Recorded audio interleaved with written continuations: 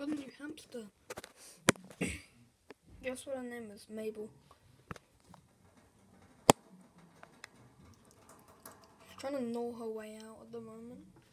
This is her room. She's got a tube coming around the side. Toys to play with. Down there.